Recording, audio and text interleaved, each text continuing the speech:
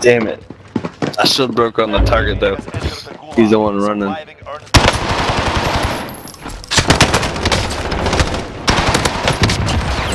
Damn it!